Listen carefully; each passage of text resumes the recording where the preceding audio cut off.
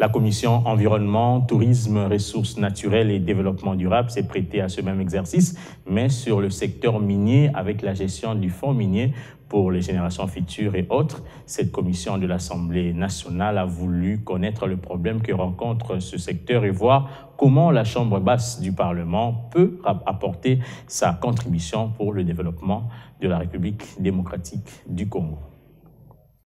Je voudrais avoir des éclaircissements sur euh, la redevance, la gestion des fonds miniers pour les générations futures, comprendre comment à ce jour euh, ce fonds qui a été créé depuis 2018 tarde à venir et connaître un peu les chiffres que nous avons pu récolter à ce jour euh, au sein du Fonds minier pour les générations Bon, nous avons une réglementation à la matière.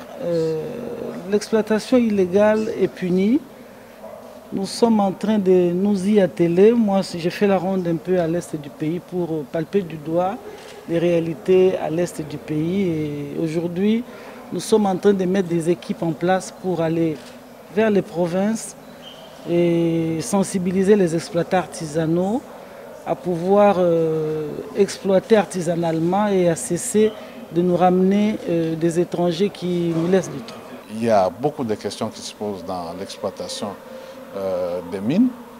il y a les problèmes de, titres miniers, il y a les problèmes de la qualité des exploitants, il y a les problèmes des communautés locales qui ne se retrouvent pas, il y a les problèmes de, de gestion du fonds euh, minier, autant de problèmes que Madame la ministre des Mines nous a exposés. Les députés ont posé un certain nombre de questions auxquelles elle devra répondre dans les 72 heures. Oui, mais la pollution de la rivière Kassai, c'est une question qui a été débattue longuement avec Madame la, vice-première ministre en charge de l'environnement. Elle a donné des réponses euh, qui sont euh, tout à fait acceptables. Mais je pense qu'à ce stade-ci, nous attendons qu'il y, ait des actions, des actions sur terrain en termes de non seulement d'identification des causes, mais aussi euh, de protection de toutes ces populations et de, de toutes ces espèces qui sont en train de périr dans la rivière.